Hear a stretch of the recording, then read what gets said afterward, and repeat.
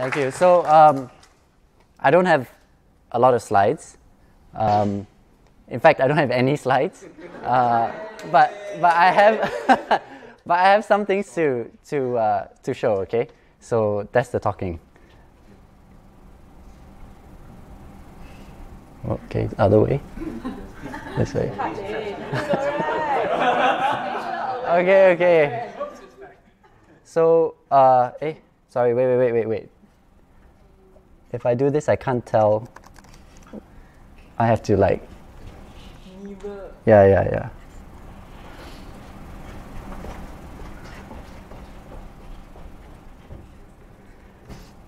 yeah. hey. Okay, um, so trust me, I have prepared a little bit, uh, but not too much.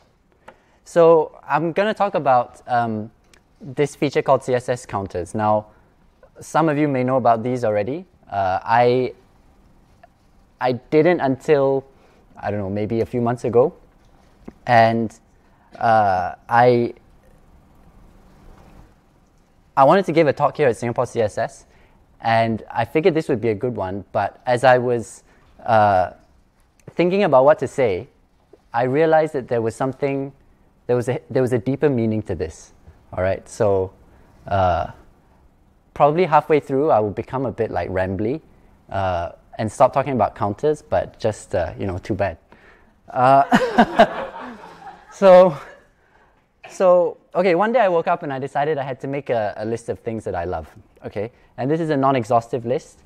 Uh, React CSS, JS, uh, Jamstack. If you don't know what that is, stick around at the end. Um, and uh, of course, being a you know engineer at heart, I wanted to label it in a, I wanted to number it in a, uh, in a sensible fashion, right? So uh, of course, I can do that, right? Uh, like we just saw, JavaScript's really powerful. So uh, I'm, I'm not going to go deeply into the code, but the output is that the the top level is 1, 2, 3, then it's like 1.1, 1.2, blah, blah, blah, kind of like your exam questions, I guess. Uh, so, okay, long story short, so can you see?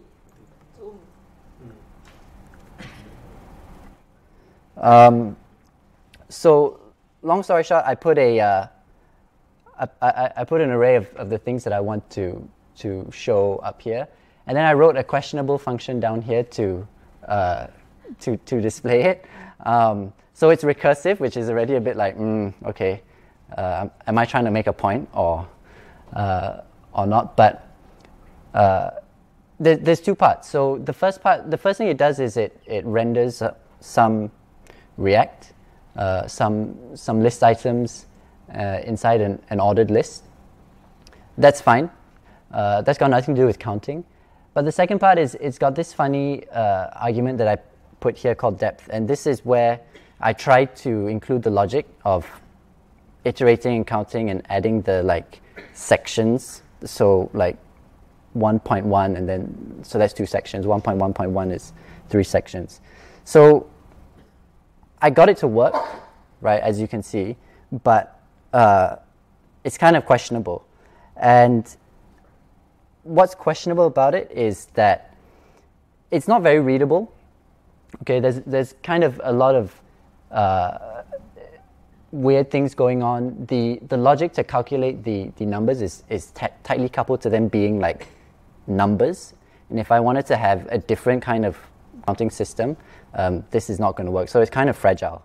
So, um, but it works, right? So job done, right? okay, obviously not. Uh, there is a better way, arguably a better way. Uh, I think it's better, and I'm going to show you what that is. Um, and okay, to make the point, I've, I've taken out all the, the JavaScript. So uh, it's the same list. Here is the CSS.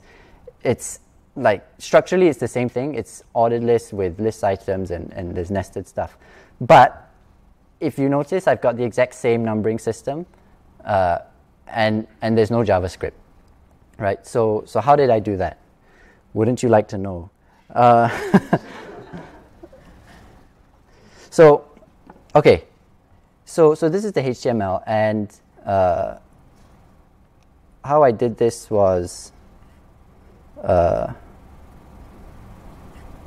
oh, okay. Let's see. Um, basically, all the logic, all that complex logic in the questionable JavaScript function is reduced to uh, basically these, uh, okay, not even this one. Basically to these seven lines, so 11 to 13 and 20 to uh, 23. Uh, and fun fact, this is more declarative than React, so yeah, think about that. Uh, so what, what, what happens here basically is um, CSS has this feature called counters, okay? And uh, what counters let you do is they, they give you a, a solution to uh, count things. um, and how this works is you, you use this, uh, this property called counter reset, and you give your, your counter a name. I'm going to skip ahead a little bit here and go straight to the nested counters uh, example, which is what I've got here. Um, so what I've said here is I, I have a counter called section on every ordered list. And uh, in each list item, I increment that counter, right? So if we go back to the uh, HTML, we can see that there's, there's more than one uh, level of ordered list. There's the top level, and then each like sub list is, is another ordered list. So what's happening here is that the uh, the section counter in each child ordered list increments it itself as well. Um, and then for each one of those, the list items in that ordered list also increment.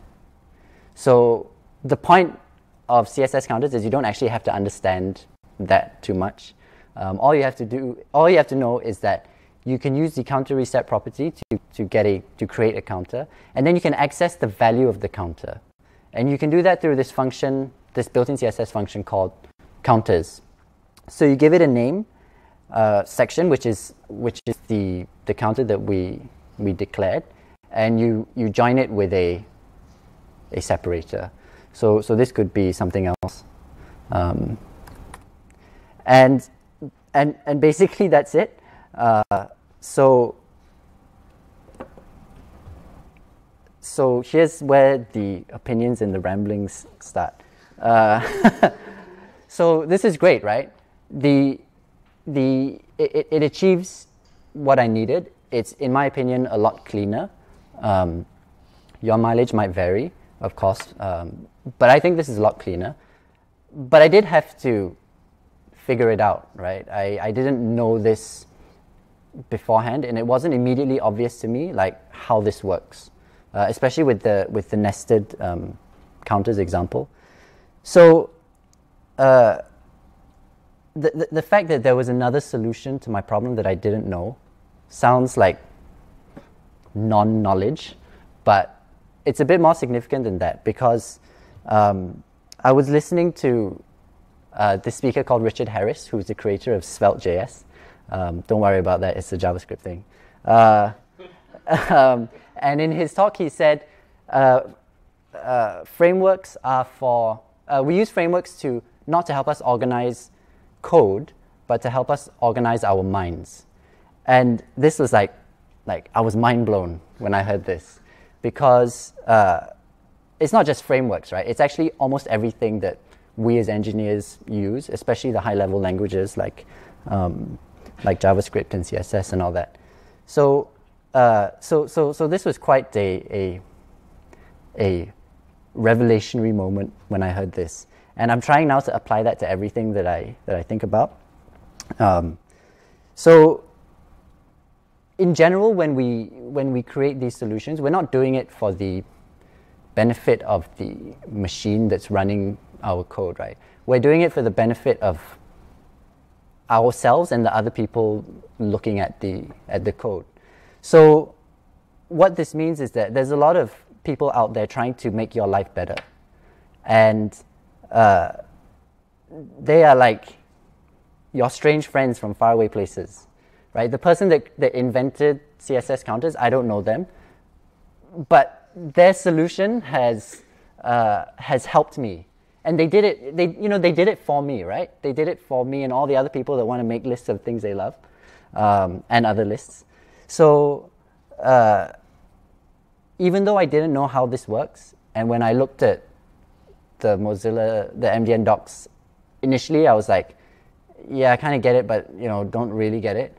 Uh, I felt I owed it to this person to figure it out because they've created a solution for me that um, that may be better than the one that I knew already. So, uh, so really, at the end of the day, it's not about like a, a lot of what we do is not about code, but it's about people. And this is something that's quite important to, to me. And so when you, in our profession, when, when we do things like, you know, use CSS counters, we're, we're creating connections with other people.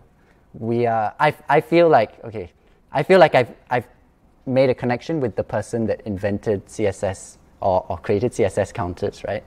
Um, they've they've affected my life in some way, and that's like that's quite uh, it's quite a profound realization that that we've we've all invented all this stuff, right, for each other. So, uh, and it's not just relevant for things like like massive public things like CSS. When you look at a code base, a new code base, it's it's you know I, am sure everyone has looked at a new code base and thought that it sucks, right? Um, but but it, it, doesn't matter if it sucks, right? Because um, it's been written by someone, and when you read it and you understand it, you are like communicating with them on a different level. So, uh, yeah, I think that's quite enough. uh, so half half CSS counters, half like you know life. Um, but I, I, hope you get, get my point here, which is that um, there's, especially with, with CSS, you know, in this day and age, there's a lot of like hot takes on it and a lot of shade and stuff. Um, but the important thing I think is to uh, not, not, not to dismiss uh, like solutions outright because uh, they've been created by somebody that's trying to do the same thing as you. And they've done it one way and it's not the way that you might be familiar with, but it might be a better way than, than the way that you are familiar with. Thank you. questions? Uh, yeah, sure. Ask, ask questions. Yeah. Wait, about counters or about life? Well. Anything goes because he put himself in that situation. so how did you find out about counters? Uh, I saw it on a tweet. I, I can't remember. Yeah, I can't remember what which tweet, but uh, should I keep this on? Yeah, um, it was a tweet. Yeah, I think it was.